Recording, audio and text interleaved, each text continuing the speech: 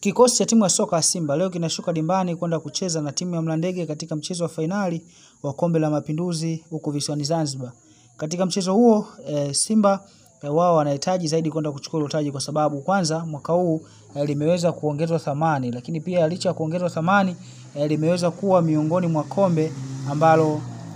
watu wengi wamekwenda kulitolea macho baada ya timu za kutoka kubara kwenda kushindwa e, katika e, katika hiyo nafasi, kwa sababu tumeona e, timu kama Yanga wameweza kushindwa kufurukuta na kufua dafu, lakini timu kama Singida wameshindwa kufua dafu e, timu pia kama Azam nayo pia wameshindwa kufua dafu. Kwa hiyo imebaki Simba tu katika hilo kombe la Mapinduzi. Kwa hiyo watu wengi macho na masikio yao yako katika klabu ya Simba kuangalia kwamba chochote unaweza wanaweza kuambua labda katika mashindano hayo ambayo yalianzishwa hivi punde. E, kwa ukiangalia katika kikosi cha Simba ambacho possibly kinachoweza kwenda kuanza katika mchezo huo ambao wanakwenda kucheza na timu ya Mlandege, hapa niko na listi ambayo huenda uh, ikaenda kuanza kama hivyo ilivyo katika mchezo huo. Golini uh, golikipa Hayubu Lakredi, lakini nambari mbili anaenda kucheza Shomari Salum Kapombe, Show me the way Baba Esther. Nambari tatu anakwenda kucheza mchezaji afahamikaye kwa jina la uh, Israel Patrick Mwenda katika mbavu ya kushoto. Juu pale anaenda kucheza Shefondo Mbaroni pamoja na Osen Kazi